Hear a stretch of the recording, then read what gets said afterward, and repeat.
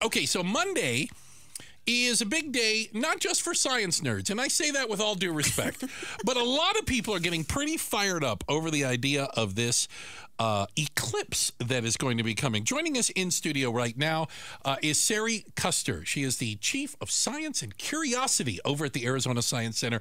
Thank you so much for being with us today. Thanks for having me. I'm excited to be here. Okay, so um, this doesn't happen all the time. Is that fair to say? It's fair to say. What's special about this eclipse? All right, so this particular eclipse is really exciting. First, because I, I want to address what you said. It's not just the nerds. Uh, this is because everybody's excited about it. This is the type of event that gets people into science. So Okay. the nerds, we love to have you drinking the Kool Aid. You're like, here. "Well, well, come on this in, is the water's moment. fine." The water's fine. Come all on in. yeah. Um, but this particular eclipse is special because it's one that is a total eclipse across North America. So multiple places in North America will be able to see a complete coverage with a total eclipse. So that makes it pretty rare. Right. I mean, and and the, the I've seen like the the swath, if you will, they Yeah. call it right. It's going to kind of go from Texas and kind of Yeah. curve its way up along along the way. What is going to be our view though out here in the great state of Arizona? So while folks that are in that swath that you mentioned, that 100 plus mile range, will be able to see total coverage. Here in Phoenix, we'll see about nine, excuse me, 94. I'm jumping ahead. I'm getting really excited. Okay. About 64% coverage. Okay, Sorry. sixty four percent, but Yes. still a pretty good view. That's right. So you're going to see that transit across the sun. That's going to end up looking like a, a Cheshire cat smile. It'll be a crescent smile when you when you see that eclipse. Well, so you'll I- still see something significant. Now, I, I'm going to ask the question. I think I know the answer. I'm not supposed to stare directly at it, am I? At no, No, at no time should you stare directly at the sun. Is that a good good rule of thumb? Uh, 100%. Even but- during an eclipse. And I heard you reference that if I said that, you'd kick me out because, uh, yes, um, you have to have eye protection for this eclipse. Okay. It is never safe to stare at the sun. Even if you are in the path of totality, I would encourage you to always have your glasses on. There's a short fraction of time with total coverage that you could look at the sun because it's totally blocked but really just for safety I, I would say always wear safe solar glasses and you brought us some. Thank you so very we much. did we brought you some Yeah, we have some here. we want to make sure that your eyes are protected so that you can safely see the eclipse. Thank Kids are going to go nuts. They're going to be so excited. yeah, and and well, that, that is important. You know, I mean, people hear these things and and they think they can just run outside and stare at the sun. And again, I'm going to remind you, please don't. And Don't do that. This It won't can- be the last time anyone says this to you. That's right. And it can permanently damage your vision. So it's not just something like, oh, it's just bad because you can't see things well. It is permanent damage that could be caused. So you really want to be careful. Um, if you have solar glasses, you also want to make sure that you have legit solar glasses. There's an ISO number that's printed on the glasses. So Okay. it's an ISO 12312-2. It should So, be like printed. regular sunglasses don't cut it. No, regular glasses do not cut it. Got so it. the material in these glasses is special. Okay. So uh, it's a, a special polymer that has a. I'm not even going to get into it. It's Yeah. a special coating. Um, but You're getting into the I science am. nerd part again. nerd like, into I don't know. It's got stuff in it. You know. But you want to make sure that it, it eliminates the light. So, matter of fact, when you look through them, I mean, you can't see anything unless you're staring at the sun. Okay. And regular glasses just don't cut it. Understand. That's uh, Sari Custer, by the way, Chief of Science and Curiosity at the Arizona Science She's got the Center. best title ever. Uh, yeah, you absolutely do. I mean, the Arizona Science Center is an amazing place to begin with. What, help me understand a little bit. The, I know these don't come along all the time, but but there is some uniqueness to all. eh, Like every eclipse is a little bit different. Is that a good way to put it? Yeah, that's a great way to put it. Uh, matter of fact, so roughly every, let's say every other year. Don't quote me on exactly that timeline, but there's a either a partial eclipse, an annular eclipse, or a total eclipse.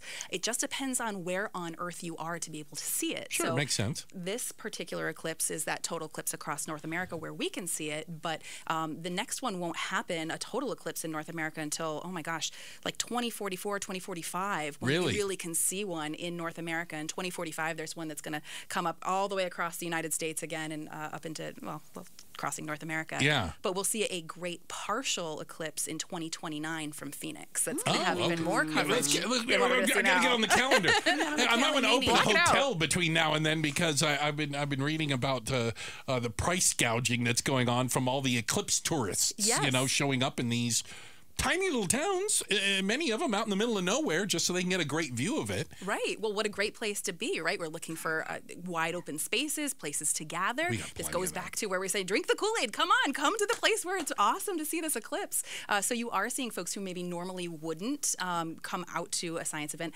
It's a massive science event that they're they're coming in droves to because it's so few uh, be- far between so f- so these few events yeah. to be able to see them. So for some folks, it can be a once in a lifetime opportunity to get out to the total eclipse. Sari, uh, let's say I wanted to watch the eclipse, but I wanted to watch it with some other people, maybe some knowledgeable folks along the way. What are you guys doing down at the Arizona Science Center? All right. Well, we want nerd or not, we want you down at Arizona Science Center on Monday, April 8th at 9 o'clock. We open our doors. We've got events happening out in Heritage Square with activities so you can learn about the sun, learn what the eclipse is, uh, engage with our team to learn a little bit more from our experts about uh, everything that's solar science. We have free glasses available for folks. So if you haven't been able to get some, come on down to Arizona Science Center. We have safe, free solar glasses. We'll have our solar telescopes up. We'll be able to look at uh, the eclipse together. We'll let you know what's going on. That eclipse starts just after 10 o'clock, goes to maximum coverage right at, uh, just before 11:30. I was going to say it's really a long kind of eclipse, right? It is. two hours and something. Yeah, it ends uh, just around 12:30, just after 12:30. So that whole morning. And what's really great is if you're coming down because we've got Final Four happening in town. if you're coming down, that activity starts later in the day. This is the perfect thing to round out your day. Come down early, get good parking, come on and watch the eclipse with us in Heritage Square, and be right there for Final Four. And final, all the Final Four fest, fan fest is right down there. Yes, it's all happening. Yeah, I guess I'm ready for it. Now, I my last question for you. Um, come Monday, during that two hours, will it will it seem like there will, will it get darker outside? Will it be like, oh, it, it, it feels like dusk or something? I mean, like, uh, uh, what will it look like?